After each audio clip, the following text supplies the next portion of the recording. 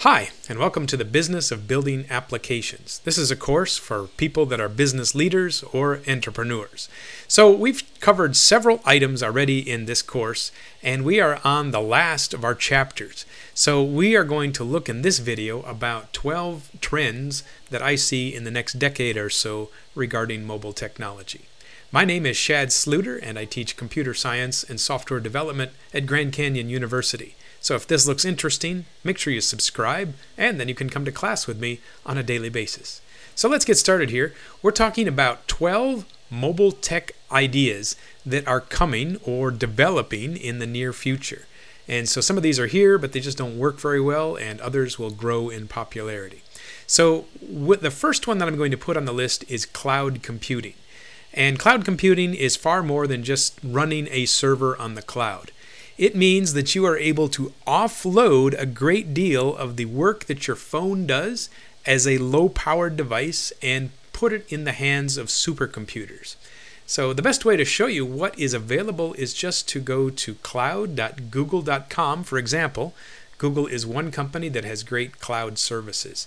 So, what do they do? They have everything from machine learning and AI to storage to ways to make uh, your finances work. So you don't rely on your computer as much as you used to to actually do heavy computing items. So, for instance, think of the voice recognition tools that are on your phone right now. So, Siri and Cortana can understand you pretty well. Do you really think that your phone is doing all of that voice recognition? No, it's not. They're sending your recorded message to the cloud, and the supercomputers in the data centers are doing the analysis on your voice and then immediately send back what they think the text is.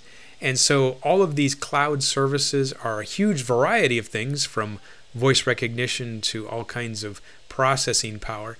And uh, your phone doesn't really have to do the work. It just has to connect you to the place that does the work for you. And so I see cloud computing growing even more than it is today. So, the next trend that I see a greater uh, emphasis on is artificial intelligence. And so, the major software developers like Google and Microsoft have great tools that allow developers like you and me to simply plug in libraries and functions and APIs, and we can just take advantage of it. So, I'm not an AI expert, but I can add AI to my phone apps because of these plugins you can see that this is Microsoft's uh, collection of things. Let's look at some of them that we can understand. So the top right corner, it says text analytics. So with just a simple plugin with an API call on your application, you can do sentiment analysis, it says, on any kind of text that is either written or spoken to you. So you can find out if somebody's in a good mood, if they like your review, if they hate your business, and the artificial intelligent agent will give you a score. And so that, that's an AI example. And you don't have to do much programming other than tell it, analyze this. So the next item here in the center is the AI route planner. So, for instance, when you start using Google Maps or Microsoft Maps, you don't have to compute the uh, the best route that a car should take. There's a AI agent that is doing that for you. And so, like I said, you don't have to be the AI expert, you just have to be a programmer that knows how to access data points and endpoints of APIs. So, look at the other things there's language understanding and video indexing, so you can actually analyze videos as they've been processed. And computer vision down in the bottom is also where you can recognize objects that are in the field of view of a camera. So, this is where AI is as of right now. I just see this growing and AI agents becoming better and better and helpful in their in their process of making our apps more and more powerful. So so I don't mean that AI is going to become like the overlord robots that are going to control our life and ruin our civilization. Uh, AI is just a manner of doing computing that makes the apps work more efficiently. So the next item up is cross-platform development. So the reason why I say this is going to be a trend in the future is because people are talking about it a lot and trying to do some work on it. But look here at the actual statistics about what apps are in the store today. So you can see that the Android store is much bigger as far as the number of apps go. And the uh, overlap here shows the number of apps that are cross platform. They've been developed in tools like uh, React Native or Flutter or some other tool to have one code base between the two. But the majority of apps are written in a single platform environment. Why is that? It's because that's the best experience for the user and the app actually work well. And so there's a lot of improvement that needs to be done on cross platform application development. And so I can only see it as a trend that will increase.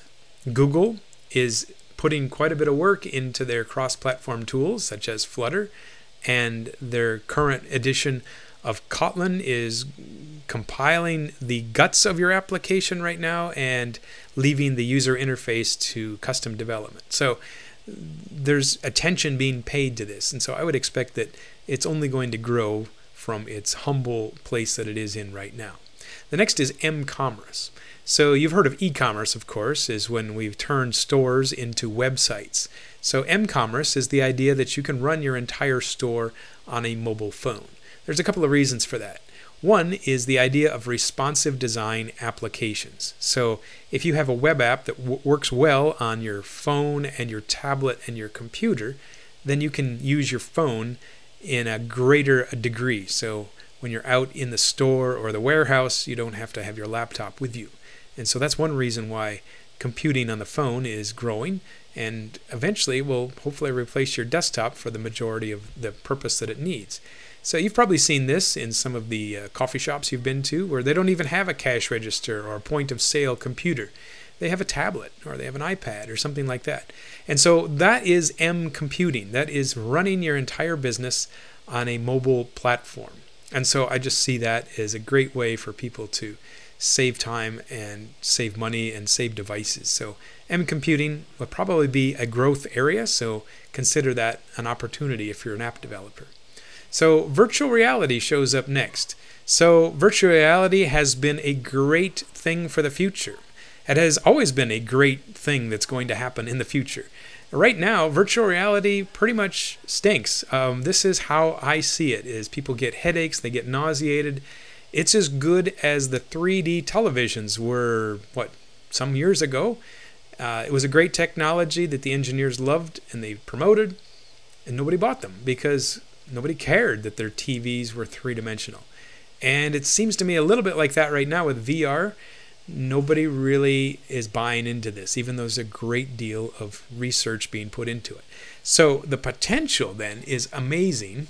If we could get VR that doesn't stink, then we are going to have a great uh, view for the future. So right now, mobile phones um, on like the Google Cardboard are pretty much dead. Uh, if you go walk through Goodwill or any secondhand store or any garage sale, you're going to see all these uh, headsets that were designed to hold mobile phones. And obviously, everyone tried them and nobody liked them. So, what's this? What's the current share? So, if you look at the actual headsets that are designed for virtual reality for playing serious games, and you plug into Xboxes or high-end computers, you're going to see that Oculus is the market leader. They have about 50% of the share of all the models that are currently connected to devices. This is uh, data here that comes from Steam. So we're talking about games here.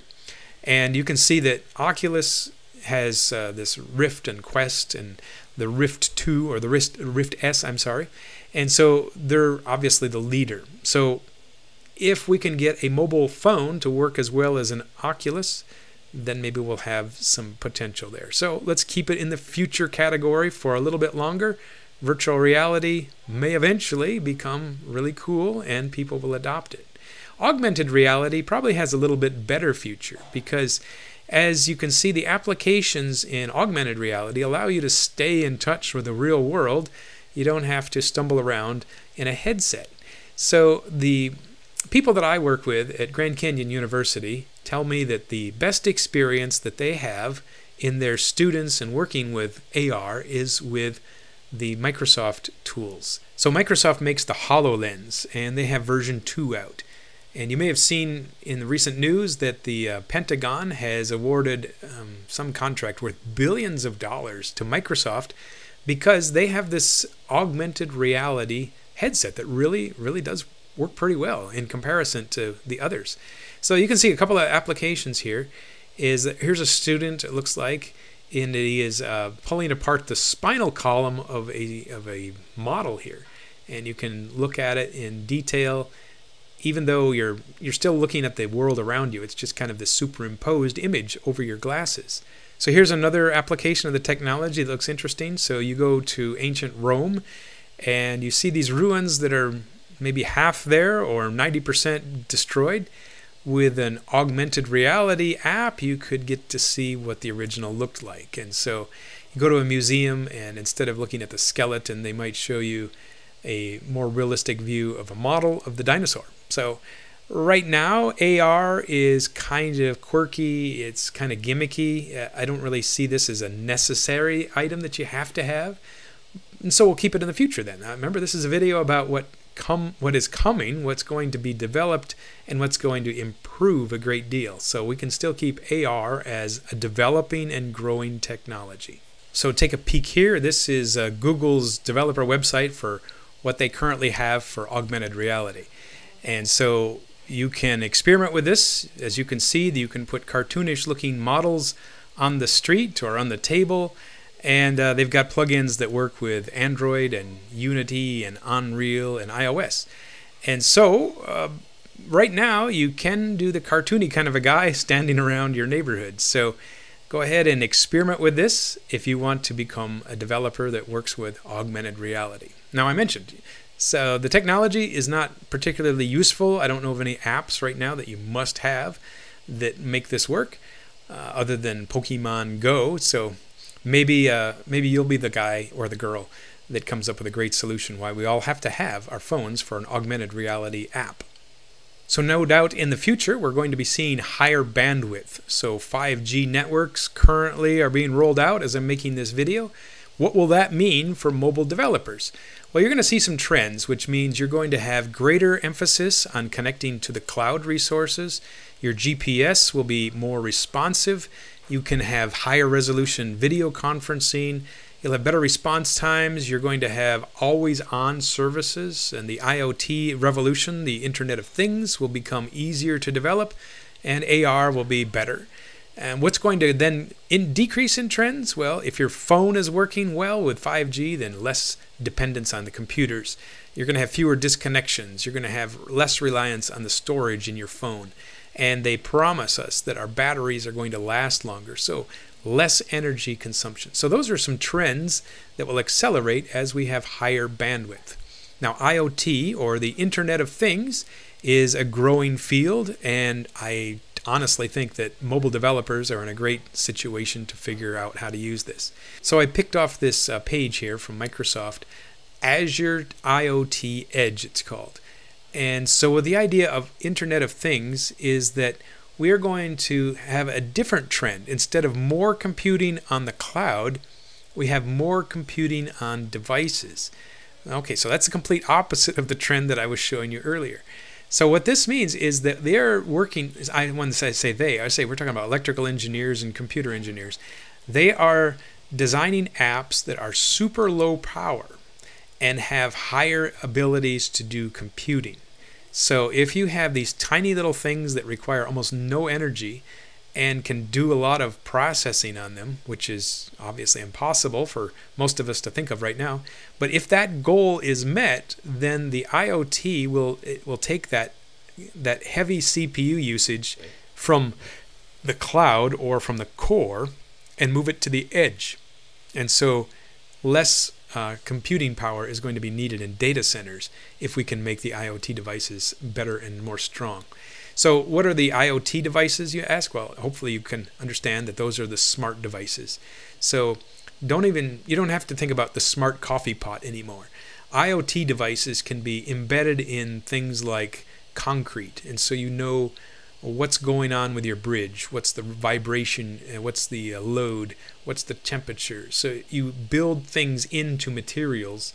Uh, you have home security systems are right now, which are current IoT devices. But if you think of every object with a smart chip in it, from your car to your ballpoint pen to the chair you're sitting on to the medical devices that are embedded in your body, all of these things are considered IoT, the Internet of Things. So, really, IoT is another form of mobile programming, mobile application development. So if you're a mobile app developer, then you're in the right field for the future. Wearable technology is going to be more and more. Um, so right now, you've got the smartwatch, uh, you've got maybe uh, smart glasses. We've got the tools here right now at Android developing um, SDKs, so you can build your own uh, watch apps right now. Security is going to be obviously bigger and more important than ever in the future. So, looking at any software developer uh, best practices guide, whether it's Apple or Microsoft or uh, Google, you're going to have best practices in mobile development going on all the time. So, make sure that you include security as part of your design. Uh, blockchain is going to fit directly with that increase on security. So, currently, we're all using our phones and credit cards to make purchases. So we're kind of on the top row of this model here where we're the customer and there's somebody in the middle that's taking a cut from everything that we do with our credit card. And what we want to do, or it would be nice maybe, is to use virtual currencies and uh, blockchain type things to just do a direct transaction. So we cut out some costs. So right now we have the model on the left where you add a credit card to your app and then the transactions are made through your bank. So in the future, maybe we can have direct payments using Bitcoin or something similar. And so I expect that that will be a trend that will accelerate in the future. Here's something that I haven't actually experienced much of myself, but I see it as a trending topic that will be in the next few years is beacons. So a beacon is a small radio server that can tell you that there is a phone nearby and then you can get a message. So in this case, somebody gets an alert that says, hey, would you like a special drink? Now, you can do this right now with GPS. And so maybe if high bandwidth and improved GPS accuracies are, are with us, then beacons are really just redundant. They're not even necessary. But it's not a tool that's in common use right now, so maybe beacons will be in the future. So I'm kind of skeptical that this will actually be something that I would care about. I, as a consumer, I want less uh, annoyances, not more annoyances. So I don't want beacons telling me, hey, you got a new alert. I mean, I try to shut off the alerts that I have on my phone already because there's so many. But anyway, beacons are something that people are working on and we'll keep it in the future. If you'd like to see the entire playlist for this course, then take a look here at the link.